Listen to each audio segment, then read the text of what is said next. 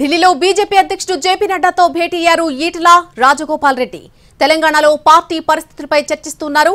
ఈ సమావేశంలో కేంద్ర మంత్రి కిషన్ రెడ్డి కూడా పాల్గొన్నారు. ఇక అంతకుముందు బిఎల్ సంతోష్తో కూడా సమావేశమై చర్చించారు ఈటల ఇంకా రాజగోపాల్ రెడ్డి.